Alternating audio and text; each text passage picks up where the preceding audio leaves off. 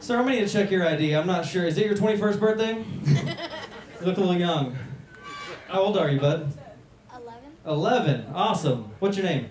Nicholas? No, welcome. Is this your first comedy show? Yes. Welcome Nicholas to his first comedy show. He'll be talking to the therapist years from now about this moment, and we've all here, we're all here to witness it. And I gotta pay for You gotta pay for the therapy. Thanks for coming out, but also sorry.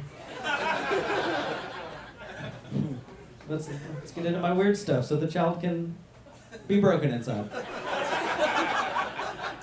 Max was very loud in the bedroom. Very loud in the bedroom. You guys like it loud?